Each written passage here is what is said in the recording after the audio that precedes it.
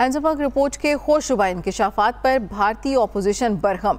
अजानी group के off funds में भारतीय मार्केट रेगुलेटर के सरबराह की हिस्सेदारी का इंकशाफ मोदी से करीबी ताल्लुकात रखने वाले एक अरबपति भारतीय खानदान ने खुफिया तौर पर भारतीय स्टॉक मार्केट में करोड़ों डॉलर की सरमायाकारी करते हुए अपने हिस्से खरीदे।